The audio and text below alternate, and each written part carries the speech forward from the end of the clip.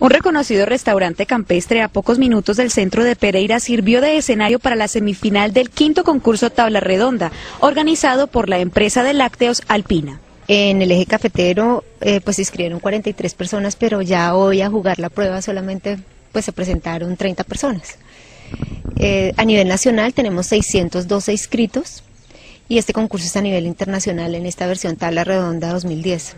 Entonces tenemos, tenemos nueve, nueve semifinales en ciudades principales de Colombia, Bucaramanga, Cúcuta, Medellín, Pereira, que estamos hoy. Eh, próxima semana estaremos en Ibagué, Falta Cali y Bogotá. Este concurso nació en el año 2002 con el fin de apoyar el talento de los expertos en la cocina y fomentar este arte como un verdadero estilo de vida en los que apenas están empezando. Ya llevamos 10 años con esta iniciativa que repetimos cada dos años. Es tabla redonda al final.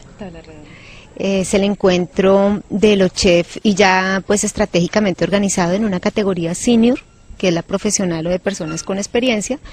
Y también a través de las escuelas gastronómicas estamos haciendo una convocatoria para que todos tengan igual oportunidad. En esta semifinal se calificó la actitud en la cocina y en la mesa, la creatividad. Diana García hizo parte del jurado calificador en esta semifinal.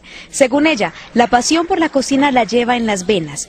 En 1983 decidió viajar a Estados Unidos para estudiar en el Instituto Culinario New York y su experiencia la ha labrado durante 26 años en cadenas hoteleras y reconocidos restaurantes del país.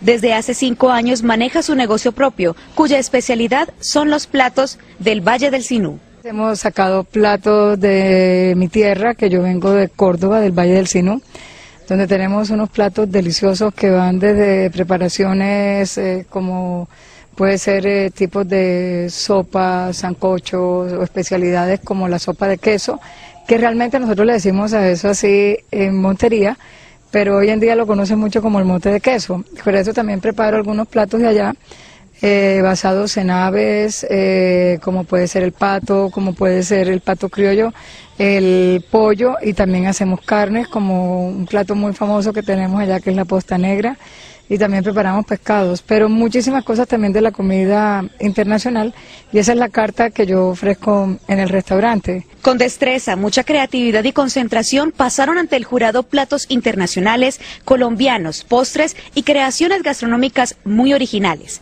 De los chefs que se inscribieron y participaron de la eliminatoria regional en Risaralda, solo tres representarán el eje cafetero en el concurso internacional Tabla Redonda de Alpina, que se celebrará en el Club Los Lagartos.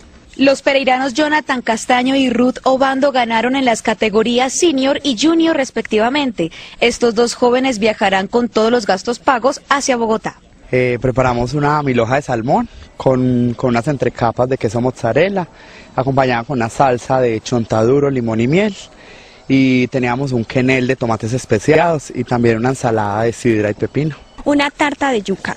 Es una receta pues familiar de los abuelos, de toda esa descendencia de la colonización paisa y bueno, es una herencia que queremos enseñar y que para nosotros, por eso va acompañada de la tarjeta y todo eso, porque es eso, es toda esa tradición tan bonita que nos dejan los abuelos, en la, tanto en la gastronomía como toda la parte cultural nuestra de, en el eje cafetero. Los participantes que ganen en cada una de las regiones competirán en Bogotá con chefs de Venezuela y Ecuador por una bolsa de premios que asciende a 34 millones de pesos.